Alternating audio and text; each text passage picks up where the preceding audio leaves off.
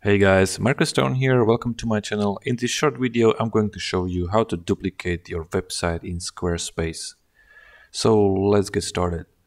Let's say that this is the website that I'm working on and we want to duplicate the whole website.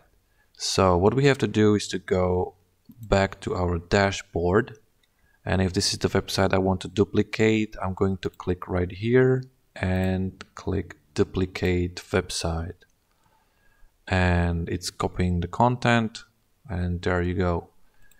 Just not to make things confused you can click on this website and let's just change the name of the duplicated website right here. And just continue and you can just skip everything for now.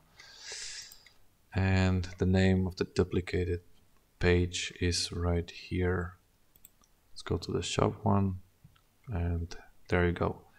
So just to double check that everything's fine and duplicated, let's just go back to the dashboard. Okay, so this is my shop and this is the duplicated website right here. Okay, that's it for you guys. Thanks for watching and see you in the next one.